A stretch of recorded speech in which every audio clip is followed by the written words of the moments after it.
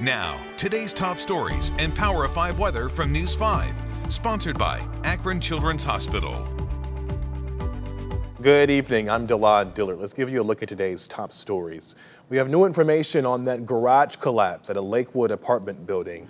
Today, the city's mayor says an investigation is underway. People who live at the Marine Towers West apartments were allowed back into their homes this afternoon after being evacuated yesterday morning. The mayor says crews were up until 2 in the morning working to pull debris and crushed cars out of the collapse. They have confirmed no one was hurt when it happened. We still don't know why this garage collapsed. A construction crew was on scene when it happened, but no permits had been issued. The mayor told us she vows to leave no stone unturned in this investigation. Let's check in with Marisha now.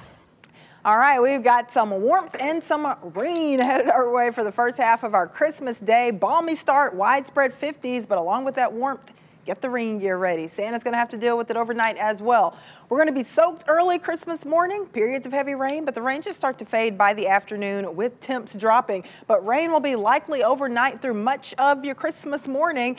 Temperatures mild overnight though. Sponsored by Akron Children's Hospital.